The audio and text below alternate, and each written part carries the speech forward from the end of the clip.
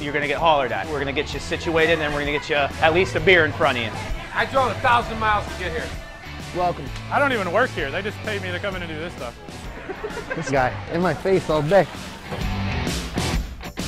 Primanti Brothers is iconic to Pittsburgh.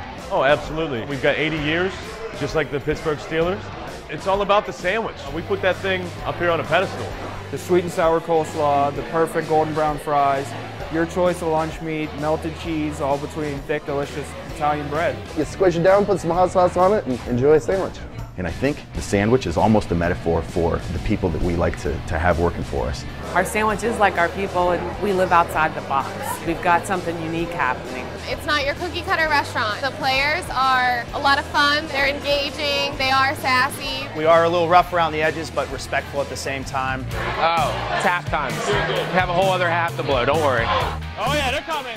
They're coming. Your Majesty, please enjoy. They're a dollar a piece. I'm just kidding. They're not a dollar a piece. Easy. Assault. Cashed out. You have somewhere better to be. Games are on. Happy hour. You guys should be happy, right? We like that at Primanti's, but I mean, you always got to be serious as well. Learn the job our way, do the job your way. There is the one right way, the Primanti way, but we also encourage you to do it through your own comfortable levels. Really just the customer fan experience. We are all about being genuine. And moving forward, we look for that cultural fit that we need. We don't seek out perfect people. We seek out people who are like-minded. People that are fun, outgoing, love serving other people. Energetic, likes to be a smart ass. He's sneaky. You got to keep your eye on him. People with a sense of humor, people with integrity, people who are comfortable in their own skin. The sandwiches are different, the staff is different. It's a good time.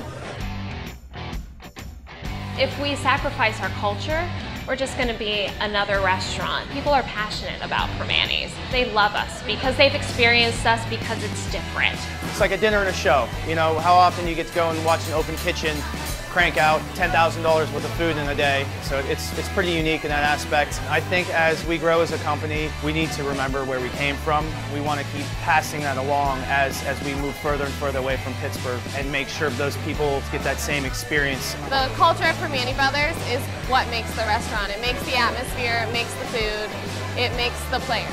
It's what we're all about as a company, man.